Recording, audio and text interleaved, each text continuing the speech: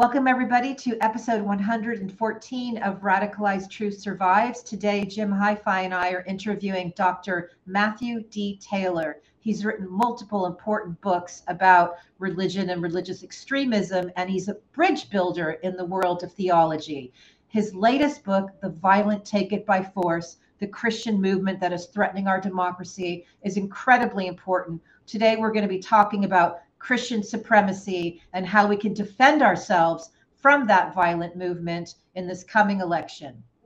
Dr. Matthew Taylor, thank you so much for being with us here today. We are so excited to interview you uh, for many, many reasons, but I do want to pause a moment and make sure that our guests notice that you have the best hair of any guest we've ever ever interviewed. I had to get that out of the way because it's so true. well, fabu- fabulous hair now now that we uh, you know got the niceties out of the way um, i just want to thank you for all the bridge building you do the work that you've done the fact that you've reached across to different faiths different denominations and tried to bring people together in your work i find that so inspiring because it's very much an uh, you know the antidote to so much of what we have been dealing with in uh, america during the trump years and where I would like you to start is with the title of your new book, The Violent yep take it by force. Can we talk about that first? Yeah, that uh, is a phrase um, that, according to the Gospel of Matthew, comes straight out of the mouth of Jesus. So um, the passage is Matthew chapter 11. Uh, Jesus is uh, speaking about the death of his cousin, John the Baptist, who was executed by the Roman Empire and its proxy, Herod. And, and he makes this very strange, kind of cryptic comment um, almost an offhand comment where he says, um, Since the days of John the Baptist until now, uh, the, the kingdom of heaven suffers violence, and the violent take it by force. And um, Christian interpreters have been have wrestled with this passage over the, the centuries. What, what is that? What does Jesus mean by that? Is this a descriptive comment that just to be a Christian is to experience persecution and suffering? Is he using a metaphor? Is he saying that Christians should be it, it should endeavor to be violent in, in, in, a passionate way to try to grab hold of the kingdom of heaven? Well, uh, the, around the Capitol riot, as I've as I've researched into it, this verse shows up all over the place in the social media feeds, in the commentary by the Christians who participated in January 6th. And in their interpretation, um, this is a mandate to do spiritual violence in order to bring about the kingdom of God. And in their perception, the kingdom of heaven was suffering violence in the form of the, the, the, electoral process pushing Donald Trump out and in their perception of the election being stolen. And so they felt that they needed to be violent to take it by force. And they often would even add the word back in there the violent take it back by force. And so, again, the sense of that the kingdom of heaven was represented in the Trump administration, and they were so desperate to hold on to it that they were willing to go to quite extreme ends. Thank you for explaining that. And can you explain to our viewers how you found that reference in Parler? Because I think it's really important as you were doing your research that you, like Jim and Hi-Fi, go right to the social media sources.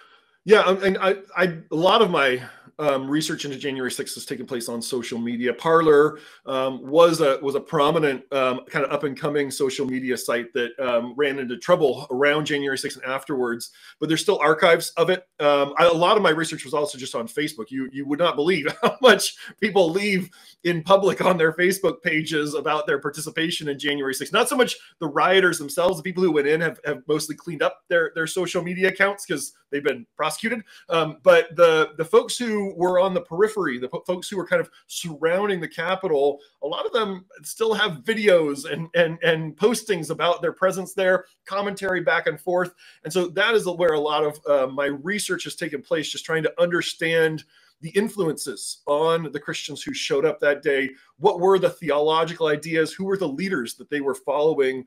And, and what drew them to the Capitol that day? And that's really what my book is about.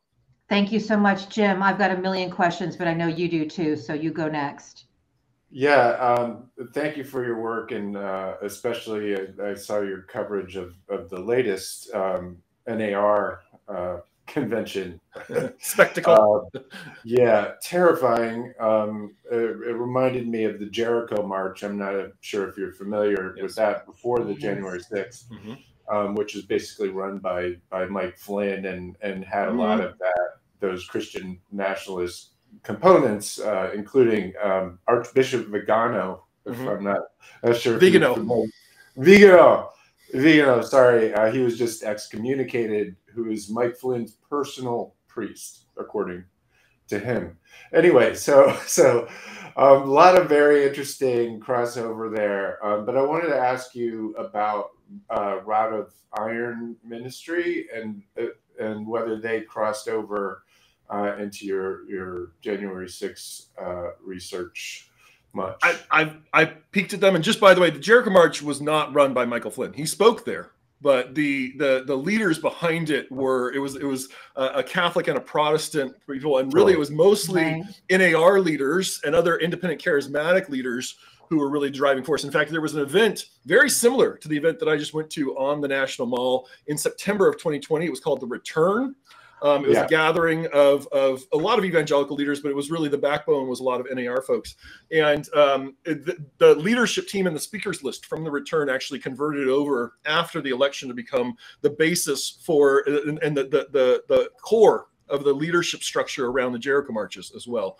Um, so sure. Michael Flynn was an invite was invited to speak there for sure, and and and said some quite wild things. But um, he was. I mean, I, most, of, most of the people there were his specifically his allies. Um, oh yeah, yeah. A lot of his allies the, were there. The, yeah. First Amendment Praetorians or personal guard who are you know all in the speakers list. Jack Posobiec and Tracy Diaz. Um, it was a, a, whole bunch of QAnon stuff in addition, which is sort of the the the reason why I'm asking because the the convergence of of these QAnon type ideas with Christian nationalism, I think is is is a is not understood well enough. I saw saw an yeah, yeah. interview with you earlier I, I, where you talked about that crossover. I was curious about it. Yeah, no, so just on the Rod of Iron thing, I have not dug deeply into Rod of Iron. I've, I've looked at them a little bit. I know that they were a presence there. They, as far as I can tell, they are not attached to the NAR. They were another one of these kind of Christian no, nationalist totally. groups that showed up that day. There were a lot well, of they're based on the Moonies.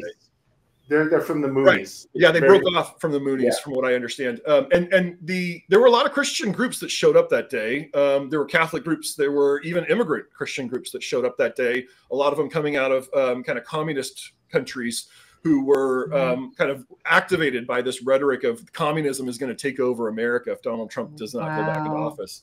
Um, but the the majority of the Christians who were showing up, the majority of Christian leaders, I've tracked 60 Christian leaders who all come out of this convergence of non-denominationalism, this kind of non-denominational governance, and then charismatic spirituality. And that's really what I'm trying to hone in on in my book is how, why is that sector so overrepresented on January 6th, so overrepresented among Trump's evangelical advisors. And part of my, my argument is that the New Apostolic Reformation, which operates within that sector of Christianity, is a very influential leadership network in that sector, was was a real kind of motive force for Christian Trumpism, offering a lot of the propaganda around Trump, surrounding him, uh, advising him, and and they they have become in many ways uh, the the the vanguard of Christian Trumpism. So you got a lot of like subsidiaries and all these little eddies, but they they are very much in there. And yeah, QAnon was was a big part of um, January 6th.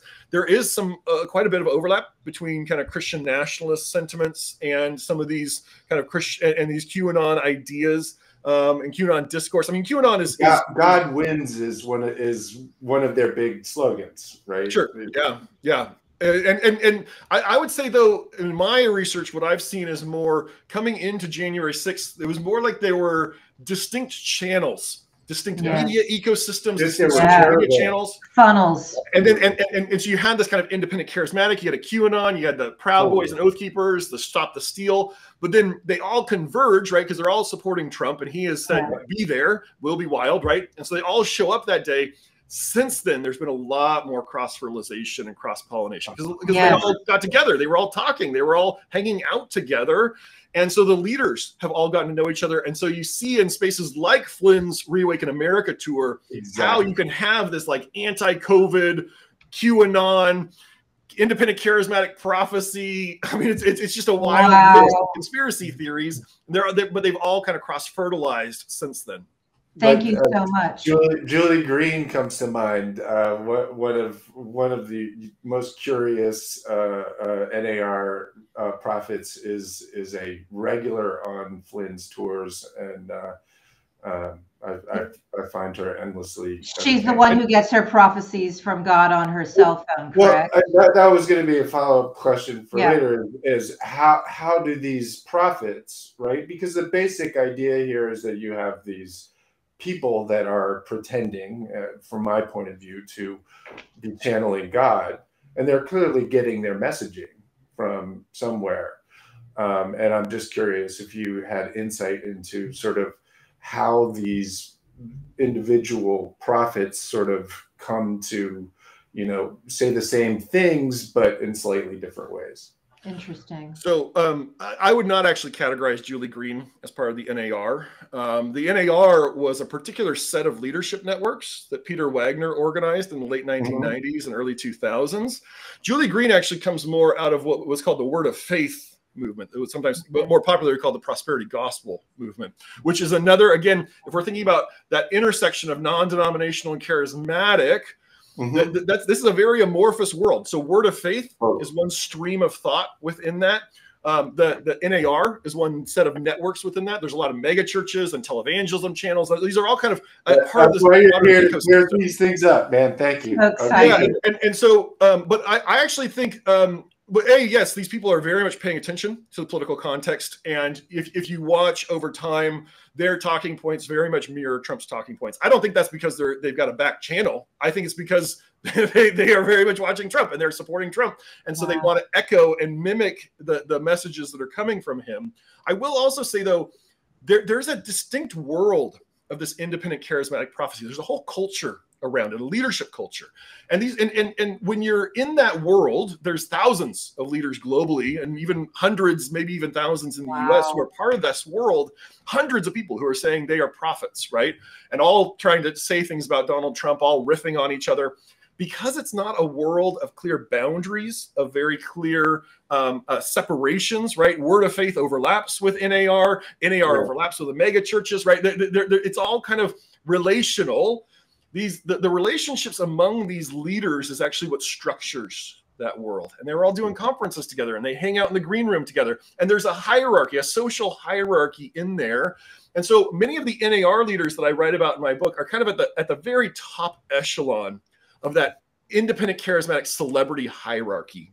And so they have a lot a lot of influence in through charismatic media and this is not this has not been talked about in the January 6th report or January 6th committee. Most of the media has not paid attention to it. But charismatic media, it's it's a it's a subsect, a subdivision of Christian media. You only really touch it though if you're part of that world. And that charismatic media was a major force in driving people to January 6th. It wasn't just OAN, it wasn't just Fox News. There, there, there were dedicated media streams built around these ideas of modern day prophecy that and you had these NAR leaders pushing these messages, pushing this propaganda into that space. But I will say, I've interviewed a bunch of these people. I've interviewed a ton of people who know them. They really believe this stuff.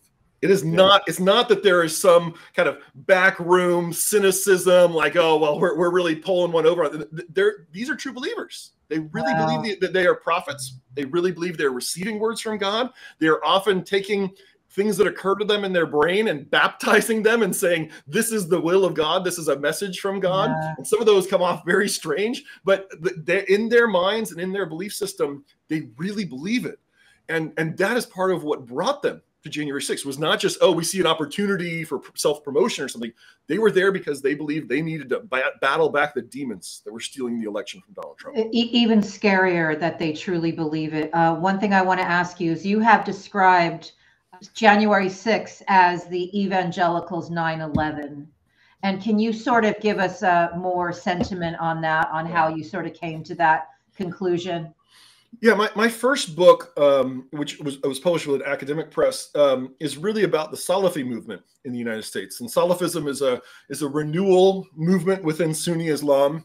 Um, often, when people talk about radical Islam, Um, they're referencing Salafism, and it, it's it's a big global movement in the U.S. Fairly small community, and after 9/11, that that community experienced a, a lot of government crackdown, prosecution, mm-hmm. cultural Islamophobia, even alienation from the broader Muslim community. And so I spent the last uh, five, six years really thinking about January, both the parallels between January 6th and, and 9 11, because in that community, they they especially most Salafis don't want anything to do with war and terrorism, but they watched as the symbols and theologies of their movement were weaponized by Al Qaeda on 9/11 mm-hmm.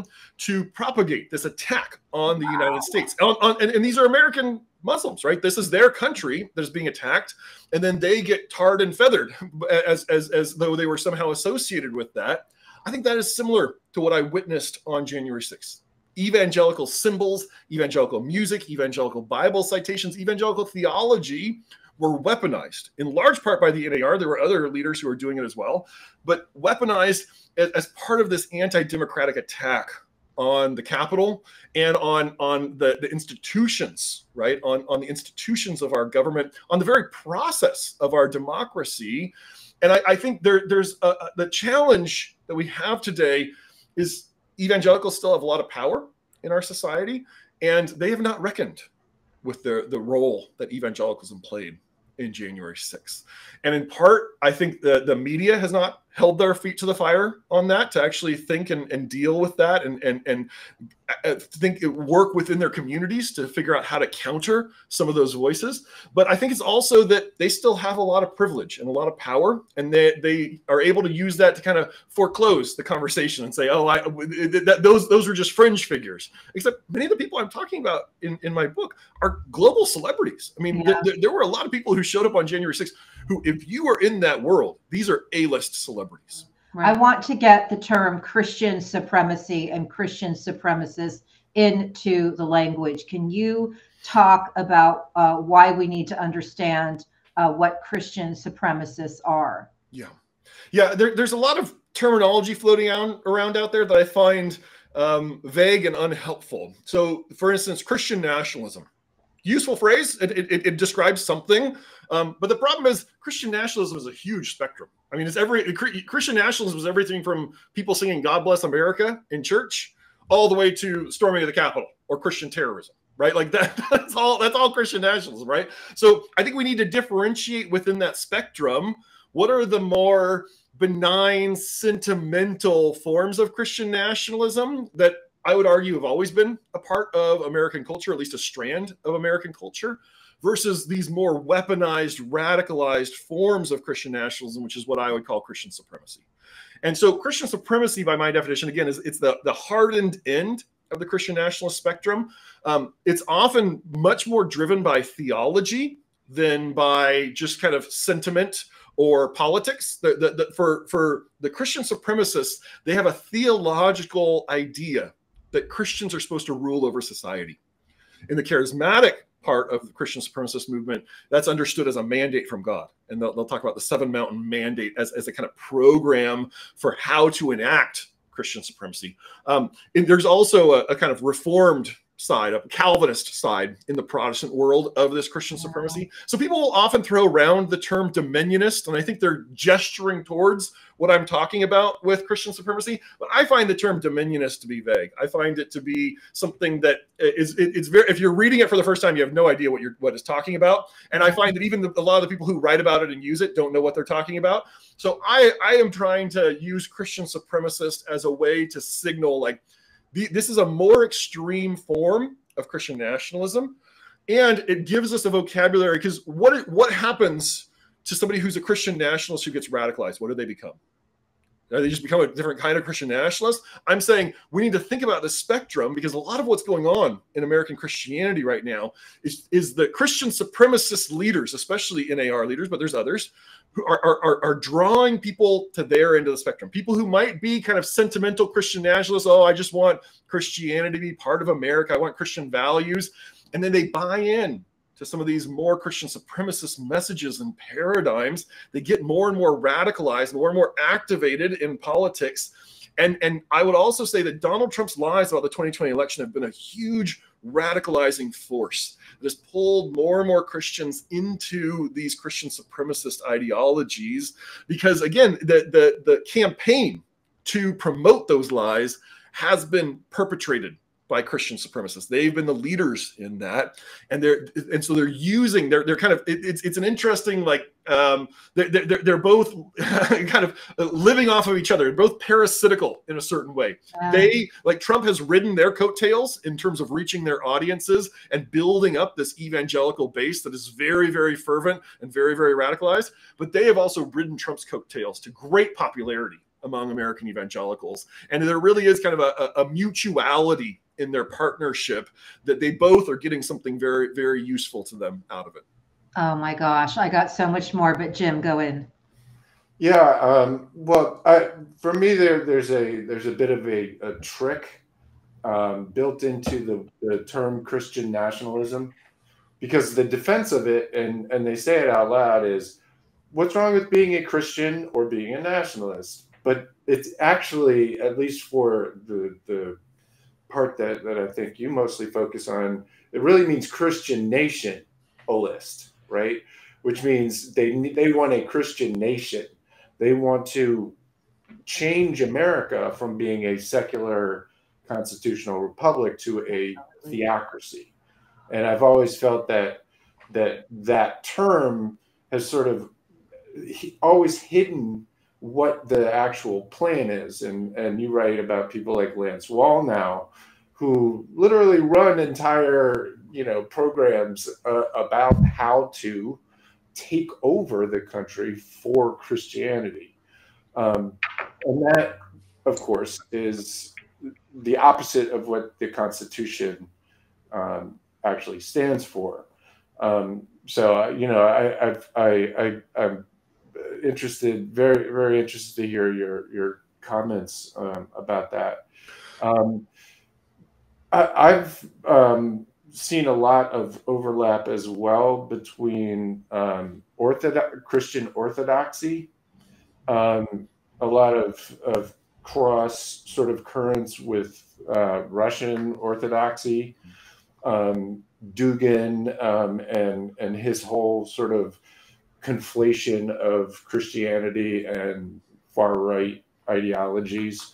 Um, I was just curious um, about your thoughts there and whether you saw any of those kind of currents um, either um, during January 6th or, and this is sort of my follow up, um, you know, what are you seeing now? Yeah. Yeah, so right. the the term um, Christian nationalism, I, I, I come at this as a religious studies scholar. So um, the the term Christian nationalism to me is not is neither positive nor negative. It's not a pejorative nor a compliment. It's just a descriptive term for what happens when people are blending their partisan political identities their, with their religious identities, right? How, how do you how do you kind of conflate belonging to a nation with belonging to a religion. And this is not unique to Christianity. This is not unique to the United States. We have Hindu nationalism, the Hindutva movement in India. You have Islamic nationalism, often called Islamism. You have right um, religious Zionism in Israel. You have Christian nationalism in Russia, right? You have Christian nationalism in Brazil, and those look different. So I, I would say that the the American version of Christian nationalism is one species of this broader family of Christian nationalisms. And even there, I would even break it down more as as as you're kind of gesturing towards that. There's a there, there are a lot of different subspecies of American Christian nationalism. So there, so there is a, Orthodox, capital O, Orthodox, right? More of an Eastern Orthodox, which people would use sometimes use the term. There are Catholic forms of Christian nationalism. And then there, within Protestantism, which is, has always been kind of the dominant strand of Christianity in the United States, there's a lot of different forms of, of Christian nationalism. I'm very much focused on this independent charismatic yeah. style of Christian nationalism because in many ways it is the ascendant style. It's the one, like, it's not the most intellectual. It's not the one that has the most sway with Supreme Court leaders. The, the Catholics uh, have, have, a lot more input on the Supreme Court. But the this is the movement of Christian nationalism that puts people in the streets. This is the movement Wow. of Christian nationalists that show up at these big protests, that show up on January 6th, that show up in the Jericho marches. And so it is the one that has the, the most potential, I would argue, for actively pursuing violent ends. Right. A lot of a lot of the other forms of Christian nationalism tend in the US tend to be more intellectual, tend to be more cerebral, tend to be more kind of oh, we're, we're going to write books about this. The, the NAR and their followers and this broader kind of independent charismatic world, it's much more populist and experiential in its orientation. And it makes it a, a very, very potent weapon for politicization because A, there are a lot of followers, and B, um, it's it's it's more detached from any sort of broader intellectual mooring. Um, and so, eh, right, if you've got prophets who are saying, "Hey, I've got a prophecy," they, they can take that any direction they want. And as they've all kind of glommed onto Trump and directed their prophecies positively towards him, they never they never prophesy anything negative about Trump. As they've all kind of attached their prophecies to him, their followers have become the most militant and ardent Yeah. Christian Trump supporters. I want to talk about Christian Trumpism Mhm. And why you think that the evangelicals, etc., attach themselves to a man with no morals. Yeah, so let me let me tell the story of how that happened actually, because it's not well known. Um, in when when Trump entered the presidential race in the summer of 2015, um, he he the, the evangelical elites, the elites of the religious right, didn't want anything to do with him because he right, he's a he's a uncouth real estate billionaire who's been married three times, right? Who curses, who says two Corinthians instead of second Corinthians, who calls the communion wafer that little cracker, right? He he did not he did not connect with the evangelical elites. In fact, World Magazine, a, a, a, evangelical magazine, was running a tracking survey throughout 2015. Every month, they were asking 100 evangelical elites, including people like David French, who are you supporting in the primary? And by December of 2015, six months after Trump entered the race, not one of those evangelical insiders were supporting Trump. But the evangelical grassroots were very attracted to Trump. And as from the start, from July of 2015, if you look at the polling, the white evangelicals are going towards Trump. Now it's like 20% at that point because there's like 13 people in the race, but he's more, he's getting more than anyone else. So Trump knows that he needs to win the evangelicals in order to win the primary. And so he reaches out to his own personal spiritual advisor, a woman named Paula White-Cain. And they've been friends since 2002. And he says she's she's an independent charismatic, televangelist, apostle, and megachurch pastor, right? And, and a female preacher. So she is not a conventional evangelical. And so she starts reaching out to the people that she knows. And she doesn't know the A-listers from the, the James Dobson types, the Ralph Reed types.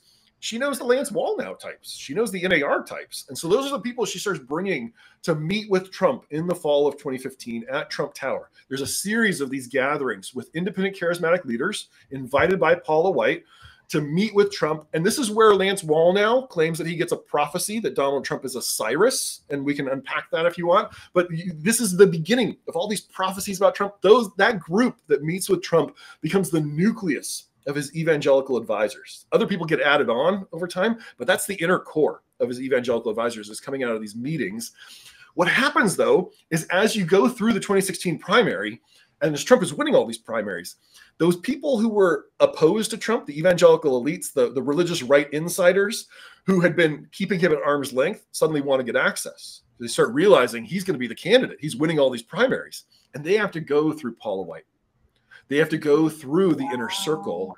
And this is a, a shift in the power of the religious right. Because suddenly you have these fringy outsiders like Paula White, like Lance Wallnau, like these NAR folks who were not in the mainstream of the religious right, who are suddenly being brought into the inner core. And I would compare it in many ways to what hap- what's happened in the Republican Party, right? It- the, the, the people who were the, the Republican Party establishment 10 years ago, many of them wouldn't even call themselves Republicans anymore if they're even allowed to come to anything in the party, right? And instead, you got these fringy outsiders, these Stephen Millers, these Steve Bannons, these Michael Flynn types who are now at the heart of the action, right? That same thing is going on in evangelicalism around Trump. These fringy, kind of independent, charismatic types who would have been laughed out of the room 15 years ago in the religious right are now at the center of the action. They are the frontline captains of the religious right who are driving the narratives, driving the leadership circles, and offering theological paradigms that support and bolster Donald Trump. I've got one more question, but Hi Fi, you jump in. My question is very simple. Um, I was raised Irish Catholic. Uh, I have family who is Jewish. I have family who is Muslim. And every one of us has expressed hurt at the way religion has been weaponized to cause this damage to people, not just in the United States, but globally. Yeah. What would you say to those people about these these tricksters who abase religion for personal gain and how would you reassure them that there is something still good in religion? Well um, religion has always been a mixed bag right? Because religion it, religion is it, it, it originates in that part of humanity that is trying to make meaning of the world. We're trying to make sense of the world. And so religion has, has been a force of great beauty of great insight of great power, of great uh, uh, kind of powerful experiences, of great co communal connection throughout history. It's been a, a, force of great charity and care for the, the least in, in society. It's also been a force for great evil, right? I mean, I, I, I, am a Christian. I'm, I'm, I'm, I'm proud of being a Christian. I will admit, though, that, the, that Christianity has given us the Crusades it has given us pogroms. It has given us anti-Semitism. It has given us Islamophobia. It has given us colonialism and all kinds of different forms of racism. Right? Like I, we don't need to be precious about Christianity. Christianity is a human tradition, and it's got all the weaknesses of humanity and all the strengths of humanity built into that. Where I come back to is the nature and the character of Jesus as a Christian. And, and that is where I think the NAR and their kin are, are, are furthest from mainstream Christianity. I think they're still Christians, but I think they are they, they've lost sight of the Jesus of the Gospels. They've lost sight of Jesus, the, the, the, the, one who was executed by the empire, right? The one who stood against claiming earthly power every time that it was offered him. And they have said, well, now Christianity needs power. Now Christianity needs to have political power. And I, as a student of history, when Christians have had political power, it has rarely worked out well, either for Christians or for society. I think Christianity is best lived on the margins, and that's where Jesus and the early church were was on the margins, and that's that's the deep value system. And I think part of the strength of American Christianity has been the separation of church and state, yes. because it has it has provided for religion to flourish not just Christianity, for all religions that have come to the United States or that have originated in the United States to flourish. This is what we talk about with religious pluralism, right? That separation between religion and state has allowed for this, this great proliferation of religious ideas and identities in the United States. It also protects the state from these attempts by religious majorities to assert a sort of hegemonic control.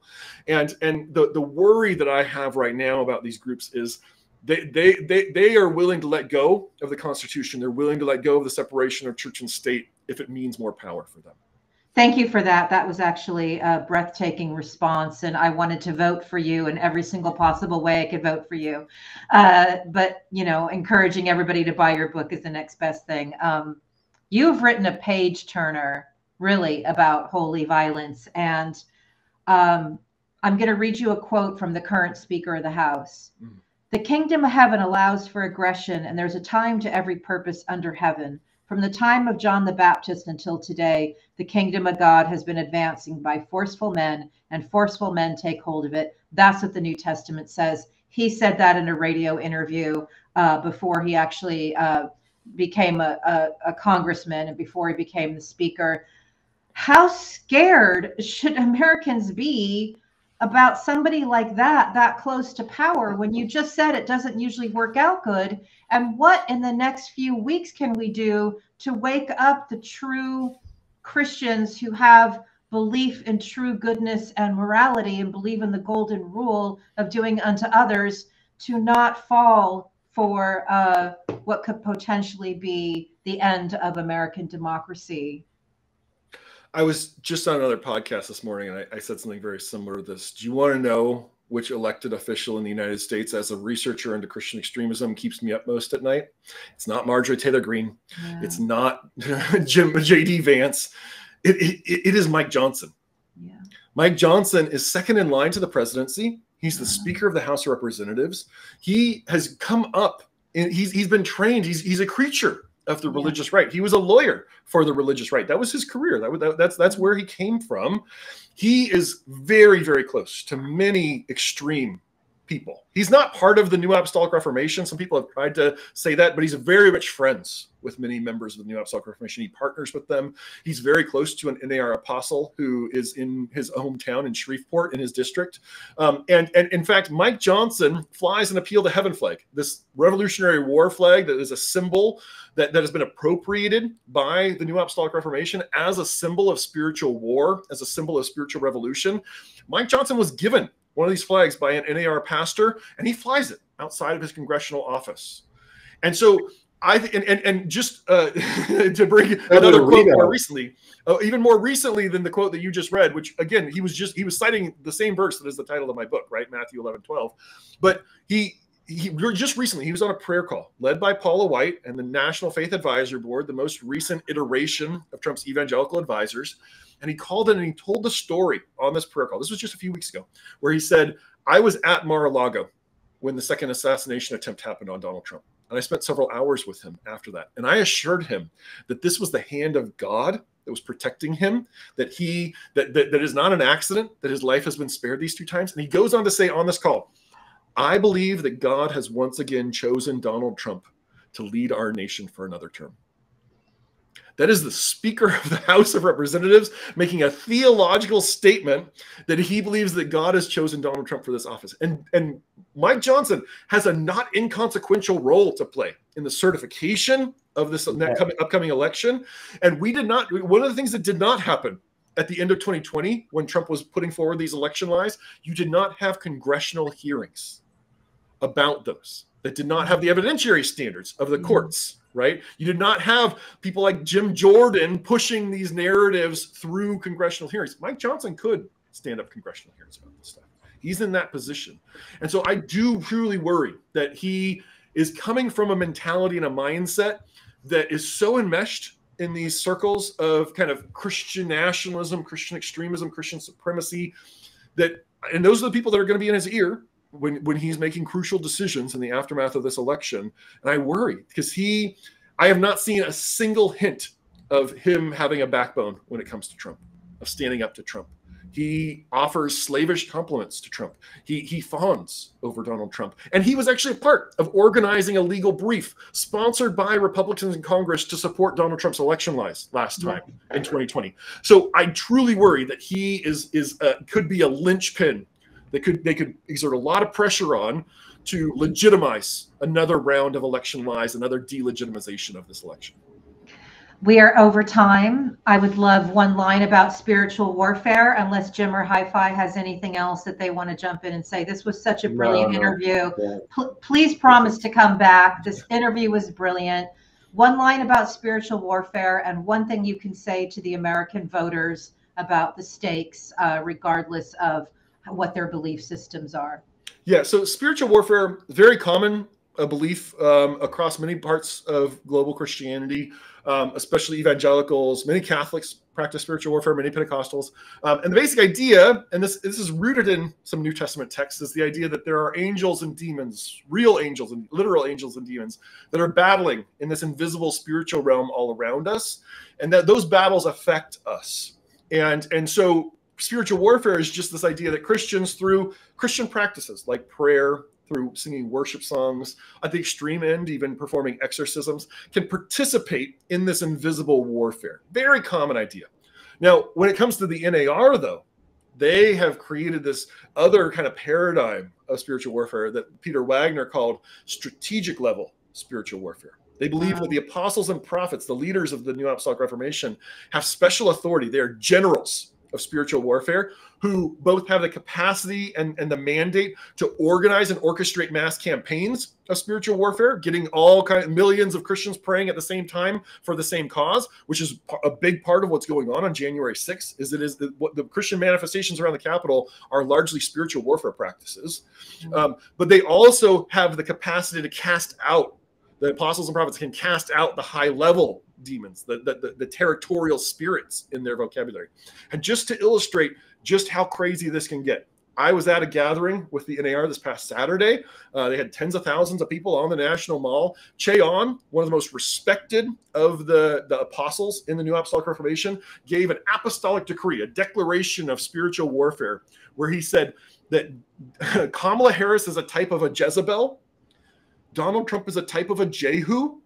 And this election, we are casting down Jezebel. And I declare that Donald Trump will win this election, that it is the will of God. Now, just to unpack what he's doing right there, the story he's referencing Jezebel is this wicked queen in the Hebrew Bible, the most wicked of all the queens in the Hebrew Bible. And Jehu is the king who's appointed after her. Her husband Ahab dies. She's still alive. Jehu rides up on his horse and instructs, she's up in a tower with her servants. And he instructs their, her servants, throw her down.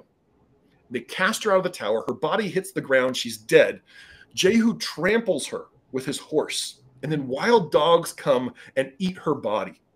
And, and, and the message of the story is Jezebel is so profane. She is such an unclean person that her, her, memory must be wiped off the earth and her body must be reduced to dogdom. That's the, this is one of the most brutal stories in the Hebrew Bible. And this is the metaphor. This is the, the paradigm that, that Ché Ahn is using to say Donald Trump is the Jehu, Kamala Harris is the Jezebel, and we are casting down Jezebel in this election. It, it was it was virtually a spiritual death order that he was issuing there in NAR theology. And the way that they think, he was saying she needs to be like Jezebel. Right? That is the way that they think about spiritual warfare, and it's very, very dangerous. Okay, just to, just last thought. Wow. so let, thank you for explaining that. It's good for us to know this is happening, so we can actually warn people. But yeah. let's get to the part where you wake everybody up. So, we we we are in a liberal democracy in America we have not always been a liberal democracy. I'd say we more or less became a liberal democracy finally after the civil rights movement, as you had the full inclusion. And we are not a perfect liberal democracy. There's there's all kinds of inequality. There's all kinds of problems in the United States still. But we are coming into an election where the future of that liberal democracy is on the line. And and liberal democracies, and, and this has been known for centuries, have an Achilles heel. And that Achilles heel is populist authoritarianism because populist authoritarianism can use the tools, the freedoms afforded in a liberal democracy, the freedom of speech, the freedom of religion, the freedom of expression, the freedom of gathering, to attack liberal democracy. And the Republican Party today has been taken over by a movement of authoritarian populists. That's what the MAGA movement is. And as we're coming into this election, this is not simply the most important election of our lifetimes. That, that, that's the old cliche this is, I would argue, the most consequential election in American history since 1860. Right? In the election of 1860, you had these two radically different trajectories. One that would continue the growth towards a pluralistic democracy, and one that would lead to further enslavement of people. That was the decision in 1860. And that is more or less akin to the decision we are facing right now. Will we continue this project, imperfect as our democracy is, of becoming more inclusive, of becoming more and more a, a, a society that is equal and, and, and is free for everyone? Or will we become a populist authoritarian state like Vladimir Russians, uh, Vladimir, Putin's Russia, like Viktor Orban's Hungary, like what Jair Bolsonaro was trying to do in Brazil? Right? That Donald Trump is not unique. He is he is he fits the type of a populist authoritarian. The question is, will the American people reject that or not? And and we're, we're facing a real. I, I, I truly do not know the answer to that question. Nor do we, and it's why we do this work. Preach, Dr. Taylor. Yeah, thank you so thank much. You. Dr. Matthew Taylor, his book is The Violent Take It by Force. Everybody buy it, read it, talk to your friends who are believers in various faiths. Let them know the true stakes. Thank you all. Really appreciate it. Thank you.